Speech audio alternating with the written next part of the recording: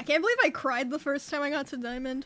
What a fucking pussy. I'm way tougher now. I would never fucking cry.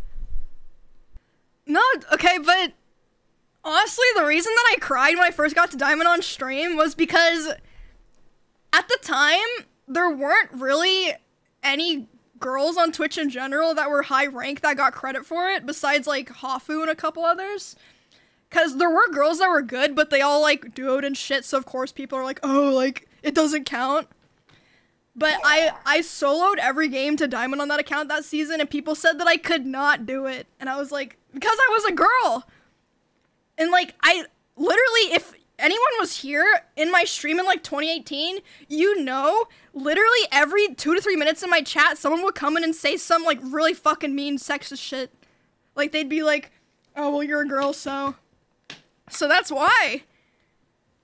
It was it was hard as fuck back then. I mean, it's still like not the best. It's definitely a lot better though, like a hundred times better. Now it's like no one cares. It's like Diamond Masters girl are like, oh that's cool. Like they're like normal about it. But back then, like it was a completely different Twitch.